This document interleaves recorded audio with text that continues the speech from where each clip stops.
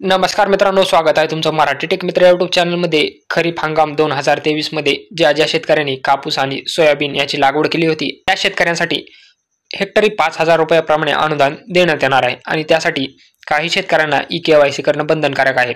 आता यामध्ये कोणत्या शेतकऱ्यांना ई के वाय सी करणं बंधनकारक आहे? तर कोणत्या कोणत्या शेतकऱ्यांना ई के वाय सी करणं आवश्यक नाही? याबद्दलची माहिती आपण या व्हिडिओमध्ये जाणून घेणार आहोत.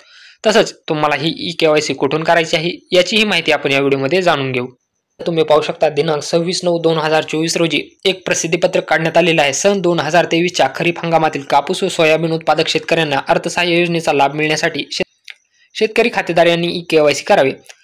राज्यातील सन दोन हजार तेवीसच्या खरीप हंगामातील ई पीक पाणी पोर्टलवरील नोंदणीकृत कापूस व सोयाबीन उत्पादक शेतकऱ्यांना झिरो पॉईंट दोन हेक्टरपेक्षा कमी क्षेत्रासाठी सरसकट एक हजार तर झिरो पॉईंट दोन हेक्टरपेक्षा जास्त क्षेत्रासाठी त्यांच्या क्षेत्रानुसार प्रति हेक्टरी पाच हजार दोन हेक्टरच्या मर्यादेत अर्थसहाय्य द्यायचे आहे. तर त्याच्यासाठी काय करायचं आहे पहा? सदरचे अर्थसहाय्य खातेदाराच्या आधार संलग्न बँक खात्यात डीबीटीच्या माध्यमातून जमा करण्यात येणार आहे. यासाठी सर्वसाधारण शहाण्णव लाख खातेदारपैकी अडुसष्ट लाख खातेदार यांनी आपली आधार संमती दिली आहे. यापैकी नमो शेतकरी महासन्मान निधी योजने चाळीस पॉईंट अडुसष्ट लाख आधार क्रमांक जुळले आहेत. यांची ई केवायसी करणे आवश्यक नाही. त्याच्या शेतकऱ्यांना नमो शेतकरी महासन्मान निधी योजनेचा जो हप्ता आहे तो मिळतो त्यांना ई केवायसी करणं बंधनकारक नाही.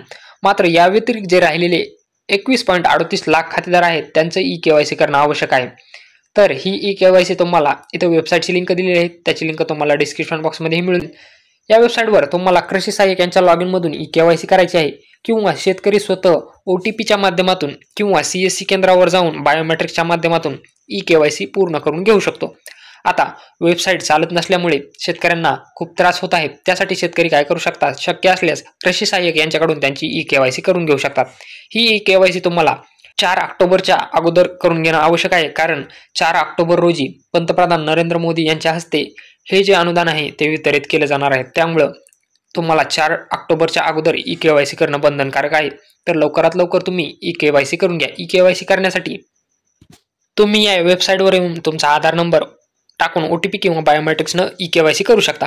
परंतु जर इथून तुमची ई के वाय सी होत नसेल तर तुम्ही कृषी सहाय्यक यांच्याकडे जाऊन त्यांच्या लॉग इनमधून ई के वाय सी पूर्ण करून घ्या. जर व्हिडिओ आवडला असेल तर चॅनलला नक्की सबस्क्राईब करा आणि बेल आयकॉनला प्रेस करायला विसरू नका.